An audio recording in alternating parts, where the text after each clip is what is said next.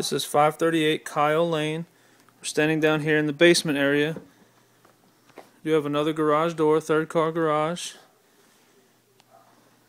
Some workbenches that are staying with the house. This is just a huge storage area. You could probably fit a couple of cars down here. Add on to the house more living space. Plenty of room to do whatever you want with this space.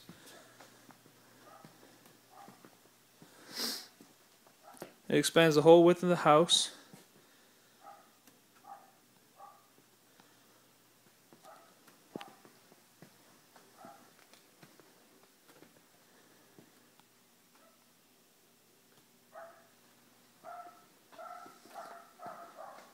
So as you can see, plenty of space to do whatever you want with here at 538 Kyle Lane.